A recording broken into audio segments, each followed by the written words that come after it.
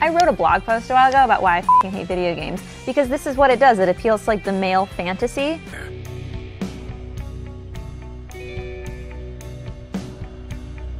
This is your fault, goddammit! Stop right there, Lugo. He wouldn't listen! We didn't have a choice! He turned us into fucking killers! This isn't my fault.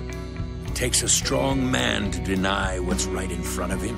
And if the truth is undeniable, you create your own. What the hell happened? I don't know, he just stopped moving. Walker, snap out of it! I get it. We have to choose. The truth, Walker, is that you're here because you wanted to feel like something you are not. A hero.